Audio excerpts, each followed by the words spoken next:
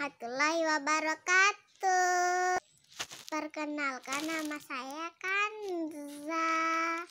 Umur saya baru lima tahun.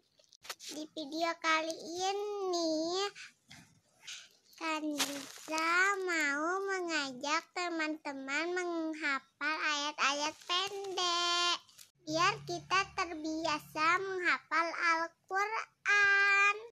Kalau belum, ayo ikutin Kanza.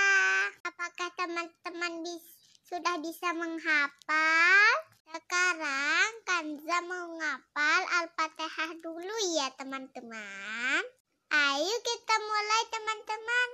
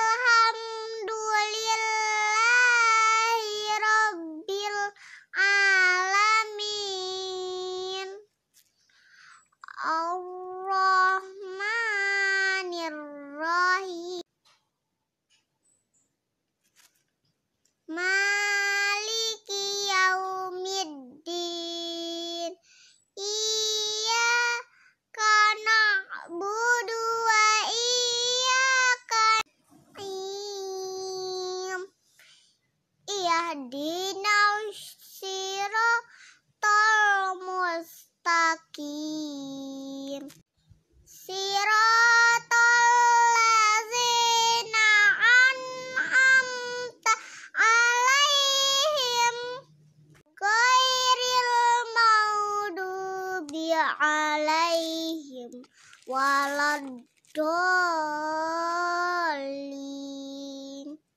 Sadaqallahul azim. Sekian dulu ya untuk video kali ini. Sampai jumpa lagi. Assalamualaikum